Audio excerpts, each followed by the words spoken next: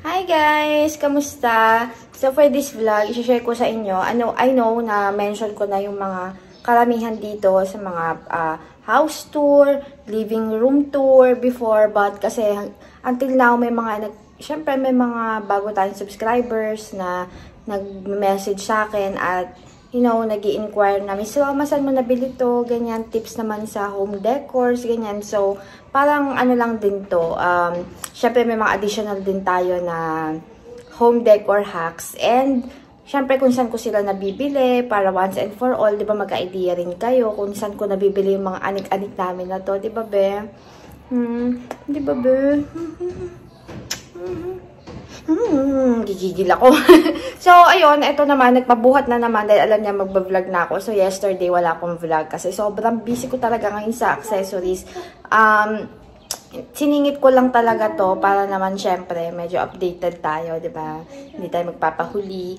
So this vlog para nga to sa mga home decors and sa mga natitira kong plants dito sa kung ano ba yung mga indoor plants ko ngayon dito sa bahay namin dito hanggang sa dining. Kasi nga, since wala pa rin tong aking uh, vertical garden, hindi ko pa rin, po na namimiss ko na siya in fairness. Baka malapit-lapit ko na ibalik. But kasi sabi ng husband ko, parang masarap pa rin naman ngayon sa mata na simple-simple muna. So, yun, pagbigyan natin. And, Rafa! Daddy, Rafa! Hi! Hi! Alam niyo ba, nahuli ko si Rafa. Nag, nag-video siya sa cellphone. Ay, sa cellphone ni Ron nakalagay. Hello guys! Uh, Bye-bye! Basta yung mga sinasabi siya parang don't forget to subscribe. Nakakatawa para magbablog na rin ginagaya ko. So, let's start!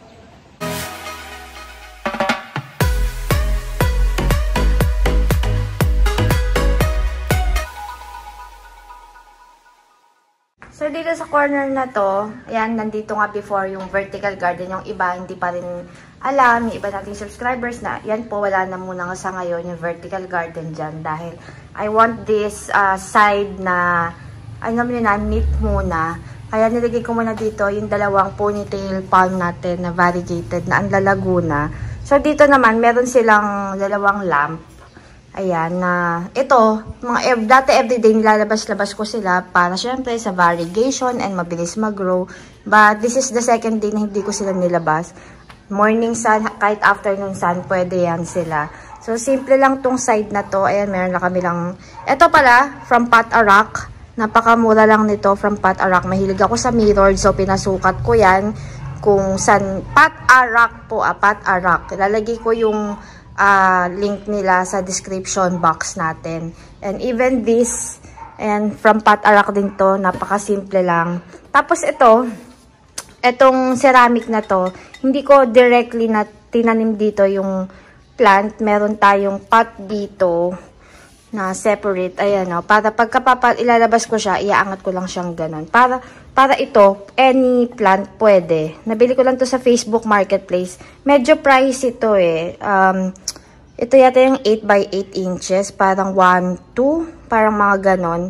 Pero may nabibili din itong set. But alam ko meron ito sa Dapitan Arcade na mga nakaset or per piece. Siyempre, mas mura doon. But malapit na akong pumunta doon. Pagka nagka-time talaga, pupunta ako doon.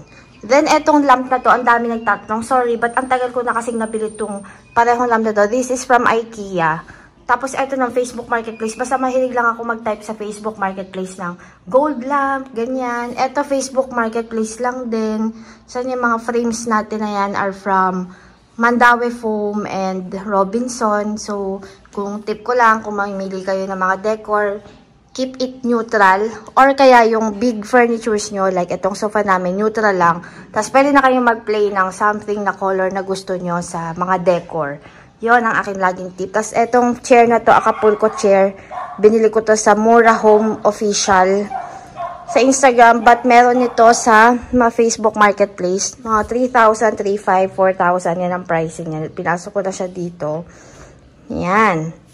Tapos, dito sa table ko, working table na medyo, ano, ang nilagay ko lang ay itong aking bonsel.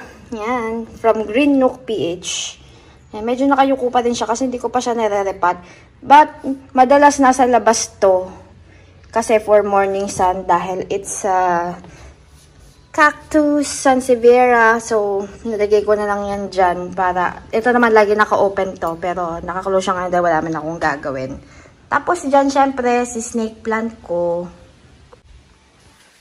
Then, dito tayo sa area na to. This is the parang ano, uh, ano ba tawag dito? Ito yung focal point. Yung sinasabi ko, lagi kayo dapat may focal point sa inyong living room or any dining, ganyan, any room sa bahay nyo para yun yung accent, kumbaga. Ito from Mandawi foam to. Tapos, ito yung decor hack, hack ko sa kanya. Hindi mo definitely hack. Kasi, sakto na yan dyan. So, yung ginawa ko, nilagyan ko siya ng chain sa likod or pwede tali. But, ako kasi marami akong gold chain para i-hook doon. Kasi, pag hinuk, yung hook kasi nito mga nandito banda sa likod or nandito. So, yan, pwede kayo maglagay ng chain na maganda, ma mga ka-color din. Para ayun. Kasi ito nakadrill na to eh. So, ito na ulit. Meron akong parang 6x6 to na ceramic pot. Tapos, yung pot kasi na itong pileya ko na to ay malak, malak, mas hindi kasya hanggang dulo. So, syempre, pag ginanyan ko siya, yung brown nito, kita. ba diba? So, nilagyan ko to ng wallpaper kahit lukot-lukot siya. But, syempre, sa malayuan naman, at least hindi pangit tingnan na brown yung nakalabas, ba diba? But, unlike here, ayan, ito binili ko, akala ko fit yung pot na to dito. Hindi ko naman malagyan ng wallpaper kasi medyo fragile, medyo delikado tong ano na to eh, itong string of turtles na minsan nilalabas ko na to, but no morning sun para dito. So, meron tayong spotlight dyan para see the difference pagka may spotlight. Ang ganda. Kaya mahilig ako sa mga ganyan, mga accent uh, light. Tapos dito, ito yung isa sa mga, uh, ano ba to? Mga hindi pwedeng iwan paggabi. Yan, si Fern. Tapos itong spider plant, every night yan, pag magsasara na ako ng pinto dito, nilalabas ko yan. Kasi nga, um, parang ano, uh, ito siguro mga overnight lang to na pwede or 2 days max, 2 nights max na hindi ko ilalabas. So, dito tayo. Ito, nasabi ko na rin to before. Ito ang mahiwagang tissue holder. Ayan, ayang rose gold na yan ay isang tissue holder. Ayan, no. Tissue holder lang siya. Nabili ko to sa Lazada. Meron din sa Shopee. Um, 400 plus, 500 plus. Pero ayan, binaligtad ko siya para maganda tingnan. And ang fit po dyan na pot ay itong pang vertical pot. Yan. Hindi nga siya fit na fit eh. But, pwede-pwede na din. Ayan. O, ba diba? So, yan. O, ba diba? Tapos, eto, meron akong mga mirror dyan. Yung mirror na yan, nabili ko lang yan sa SM Home. For buy one, take one yan na 200 plus yata. Then, uh, inanuhan ko lang siya ng gold. Nilagyan ko lang siya ng gold para maganda tingnan. ba diba? So, yan. So, eto, syempre, meron tayong IKEA dyan na plant rock. Lerberg. IKEA Lerberg po yan. Tapos, eto mga to, lagi may nagtatanong. Nabili ko lang to, nabili ko lang po ito na uh, pre-loved. Basta mahilig ako mag-type sa Facebook Marketplace ng uh, gold metal basket, gold mirror, gold ganito, ganon. So, dito naman tayo. Ito ang aking variegated Japanese yuca from Sakulove by Naruthi. Ayan.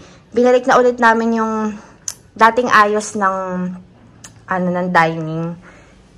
So, kaya inalis ko dito yung chair na Acapulco at nilagay ko doon sa living room. Kasi hindi rin naman nauupuan dito. But si Yuka ay perfect pa din dyan. Ayan, meron tayong light dyan. Uh, tip ko sa inyo, maglagay kayo ng maraming mga ganito. Kahit mura lang naman to yung mga ganito. Kahit table lamp. Basta yung accent, tapos yellow. Kasi iba talaga yung effect kapag ka meron tayong mga accent lights, o ba diba? Yan ang ating mga decor hacks, home decor hacks, para pampa, pampa-social ng lugar. So, ito yung aming uh, focal point or accent wall dito sa uh, living, uh, dining room. So, yun, meron tayong ano niyan, um, yung sunburst mirror, meron, meron akong ginawang tutorial niyan. Ilalagay ko din yung link sa description below. Made of barbecue sticks yan, tapos inisprayan ko lang ng gold. Tapos, ordinary yung mirror na tinanggal lang yung parang frame niya na plastic. Diba? Tapos, eto from Mandawi Foam. Tapos, ayan, mga kung ano-ano mga from eto mga rose gold na to sa Robinson's department store to. Basta eto mga gold mandawi foam yan. So ayan, mapapansin nyo, neutral pa rin ang colors. Tapos naglagay na ako ng accent na accent wall, ano ba to, canvas na medyo may color-color, ba Para maganda. Tapos eto yung bricks na to, meron din akong vlog niyan na nilagyan namin ng bricks to. This is from Shopee ngayon. Mas mura na yan ngayon. 3D na brick foam wallpaper. Ayan, napaka mura na lang yan ngayon. Unlike before. So, itong ating pendant lamp from Lazada lang din yan. Yan, gold pa din, syempre. Pero dun sa living room, may black yung binili ko na may, may accent na gold. Sa area na to, ito yung bagong-bagong paggawa ko from Pat Arak din. Uh, di ba, ang dami ko na paggawa kay Pat Arak kasi madali pong magpa-custom made sa kanila. So, ito, nilagyan ko lang dito ng neon photos kasi isa to sa photos na napakadaling alagaan. Ayan ang haba-haba po. So, yan dito namin nilagay yung mga nakakalat before. Pati yan yung mga pandilig ko. Diyan ko nilagay. Tapos, ayan, may binili na ako na spray. Ang dami kong ganito, apat. Pang, dahil mag spray na kami ng ano ko, ng shelf ko sa labas pagka nagka-time ako. Tapos yung mga damit ni Rafa, ay, ayun, ayun sa likod, yung mga maduduming damit. Hindi po yan stock ng madami, hanggang ganyan lang yan at malapit na ulit yan, laban. Then, ito yung sinare ko rin before na table, center table na dati dito ko nilagay yung mga decors. But syempre, pagka alam niyo na, pag nanonood-nood tayo ng TV, nagkakalimutan, nag, nasisipa. So, nilagay ko sa ilalim. Ganon din naman, kita mo din siya from top view, ba diba? So, ayan, at least walang, ayun, yung isa, nakatumba na. But, puro gold, gold, gold lang yan. Nasa inyo naman yung kung gusto nyo mag-mix ng other color. So, ko dyan si String of Hearts. Na nilalabas ko rin yan. Ini-spray ko kasi prone siya sa dryness. So, ayan ang aking mga plants ngayon sa bahay sa loob ng bahay. Tapos sa dulo, ayun, meron lang tayo doon neon photos and heart leaf, philodendron heart leaf. Yan usually ang aking mga style sa pagde-decor. Yun nga, number one tip ko lagi, uh, yung mga big furnitures nyo, gamit lang kayo ng neutral colors. Like gray, beige, white, kahit sige black, magsama na kayo ng black. Then mag-mix kayo sa pan-decor, dun kayo sa pan-decor mag um, alam niyo na, mag uh. Before, meron kami dito royal blue. Yun ang pinang-mix ko. Bali, white, gray, black, and royal blue. Although, yung black ko kasi sa dining lang. But, nilabas ko na ngayon since um, New Year na, 'di ba Bagong, bago naman. So, more on gray na ako ngayon. And, eto yon yung Ottoman na yun, yan yung royal blue namin before. But, inano ko na, pina-upholstery, upholstery ko siya. So, yun pa, isa pang tip kung meron kayong furniture na maganda pa naman, like ito, eh no, yung binilan ko lang siya ng ganyan sa Lazada. Yan yung legs na ganyan, na gold para maganda. Wala kasing, wala kasi yung paa before. So, nilagyan namin ng paa. And, ang ginawa ko dito, pinare-upholstery ko. Naghanap ako ng murang nag-upholster. 1.5 lang siya. Tufted na. Sa kanila na lahat. Free pick. Pinick up pa nila dito at dineliver pa nila for 1.5. So, okay na yon Kaysa bumili tayo ng bago, ipa-reupholstery na lang natin. And same din dito sa aming sofa. Ang dami nagtatanong na itong sofa namin. Ito pong sofa namin, nabili namin sa ano, uh, pa-exit na dapat kanina. No, may naalala pa. Uh, nabili namin to sa our home. I'll try to insert yung picture dito nung brand no to. 2000 kailan ba namin to binili? 2016 pa to. 2016 pa to.